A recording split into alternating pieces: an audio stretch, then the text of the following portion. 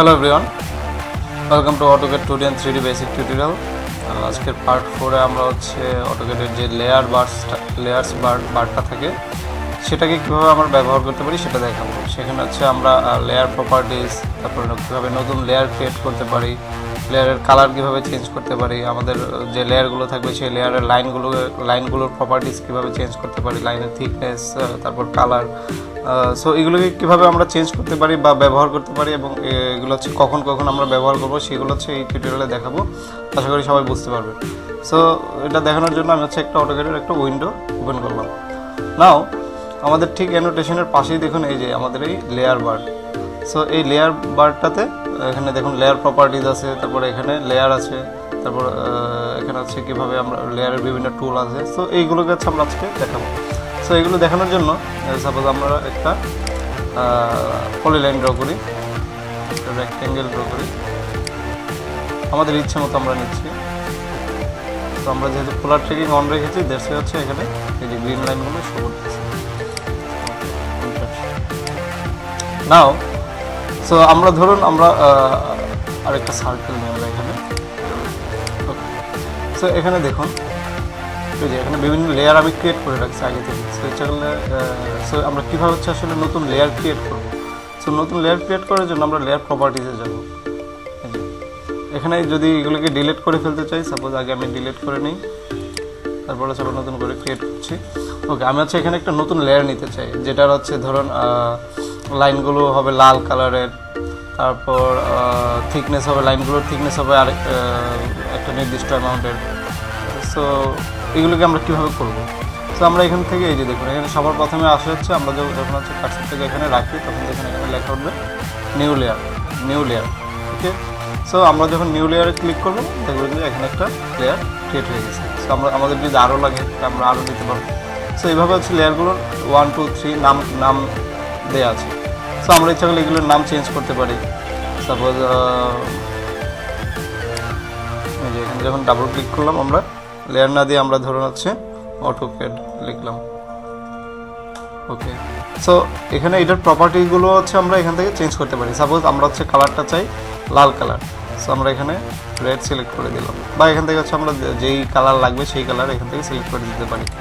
বা একটা একটা থেকে আরেকটাকে আইডেন্টিফাই করার জন্য। তারপর হচ্ছে এই লাইন টাইপটা কী হবে? লাইনটা কি হচ্ছে কন্টিনিউয়াস লাইন হবে, নাকি ডট লাইন হবে, নাকি হিডেন লাইন হবে, কোন ধরনের লাইন হবে? সেটা হচ্ছে এখান থেকে আমরা চেঞ্জ করতে পারি। সো আমি, আমরা যদি এখানে লেফট বাটনে ক্লিক করি দেন এখানে দেখুন হিডেন টু একটা দেখাচ্ছে বাট আমরা আরও আরও অনেক ধরনের ধরনের লাইন চাই সো কীভাবে পাবো সেগুলোকে? আমরা এই যে এখানে যে লোড আছে সো লোড হচ্ছে আমরা ক্লিক করব।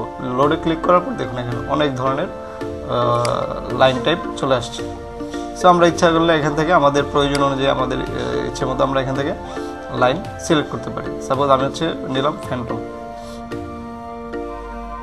okay phantom okay phantom two নিলাম। দেন ওকে এই যে দেখুন, আমাদের ফ্যান্টম টুটা চলে আসছে এখানে। সো আবার যদি নিতে চাই, আবার এখানে গিয়ে এখান থেকে সিলেক্ট করে দিতে পারি, তাহলে হচ্ছে এখানে চলে আসবে। সো এভাবে হচ্ছে আমরা বিভিন্ন ধরনের লাইন সিলেক্ট করতে পারি এখানে। বিভিন্ন ধরনের লাইন টাইপ কী ধরনের লাইন হবে সেটা ওইখান থেকে আমরা নিয়ে আসতে পারি। সো ওকে দিয়ে দিলাম। সো এখান থেকে আমরা জাস্ট এখান থেকে চেঞ্জ করে আমরা করে দিলাম। ওকে নাও সো আমরা ইচ্ছা করলে আমাদের পরেরগুলোকে সিমিলার ওয়েতে লাইনের নামটা নাম এবং colour line type weight okay so weight হচ্ছে আমরা লাইনের থিকনেসটা কী হবে? আমরা ইচ্ছা করলে এখান থেকে আমাদের প্রয়োজন অনুযায়ী আমরা সিলেক্ট করে নিতে পারি। ওকে এটা হচ্ছে আমাদের নিলাম কালার ওকে কন্টিনিউস না নিয়ে আমরা নিলাম হচ্ছে hidden two okay okay so আমরা এখন হচ্ছে কোন লাইন দেখুন, আমরা যখন এখানে একটা লাইন ড্র করব বাট এখানে যেহেতু হচ্ছে কারেন্ট লেয়ার হচ্ছে জিরো ছিল নাম সো জিরোটা হচ্ছে সিলেক্ট হয়েছে বাই ডিফল্ট আমরা যদি এটাকে চেঞ্জ করতে চাই জাস্ট আমরা এখান থেকে সিলেক্ট করে নেব আমাদের, যে, যেইটা আমাদের দরকার। সো আমি যদি অটো কেটে দিই দেন আমরা লাইনে ক্লিক করে, তাহলে আমাদের অটোকেট লেয়ারে যেভাবে আমরা প্রপার্টিগুলো সিলেক্ট করেছিলাম, সেই, সেইভাবে একটা লাইন ড্র হবে।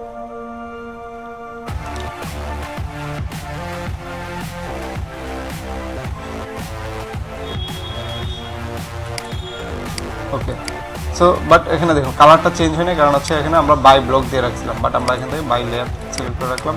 বাই ডিফল্ট হচ্ছে বাই লেয়ারই থাকবে।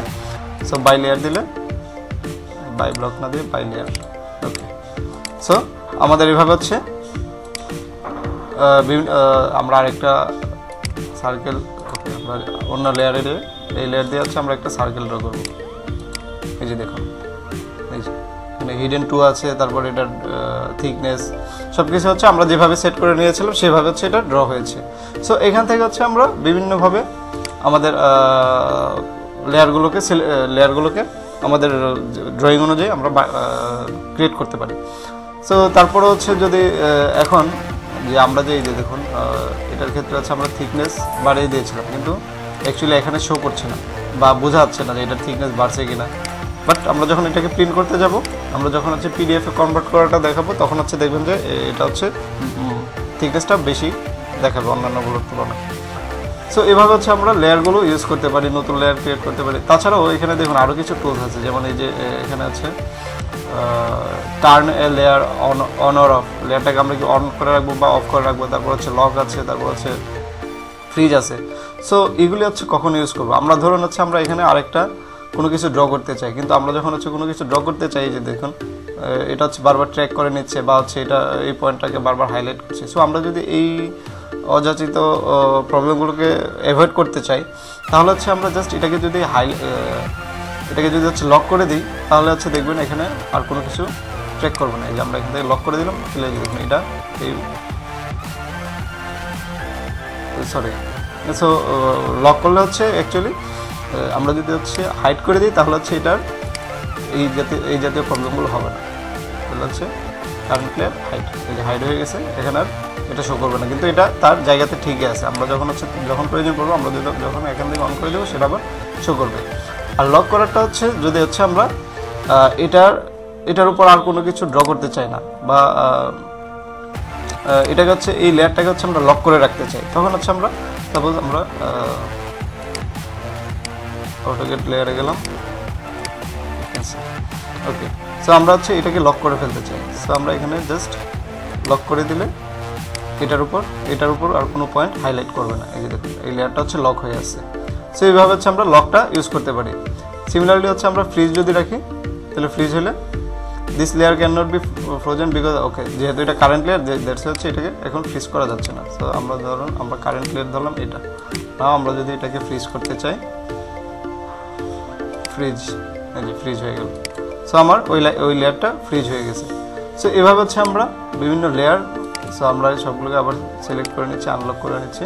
সো এভাবে হচ্ছে আমরা বিভিন্ন লেয়ার ইউজ করতে পারি। সো এখানে আমরা যে প্রপার্টিগুলো দেখিয়েছি লেয়ারের সেম প্রপার্টিগুলো এখানে আছে। যেমন হচ্ছে যে turn on turn all the layer on so আমরা যদি এখানে ধরেন বিভিন্ন লেয়ারগুলো যদি অফ করে রাখি এটা অফ এটা অফ এটা অফ তো সবগুলোকে যদি আমরা একসাথে অন করতে চাই, তাহলে এখানে ক্লিক করলে সবগুলো একসাথে অন হয়ে যাবে।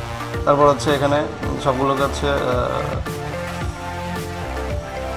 restore all layers that were hidden যদি যেগুলো আর locked with the layers of common so এগুলোকে আমরা একসাথে আনলক করে ফেলতে পারি। ওকে দেন হচ্ছে all the all layers so এখানে হচ্ছে, এইভাবে হচ্ছে সবগুলোকে আনলক করতে পারি। সো সবগুলোকে ফ্রিজ আনফ্রিজ করতে পারি। সো এভাবে হচ্ছে এই টুলগুলোকে আমরা ব্যবহার করতে পারি। আশা করি সবাই বুঝতে পেরেছেন।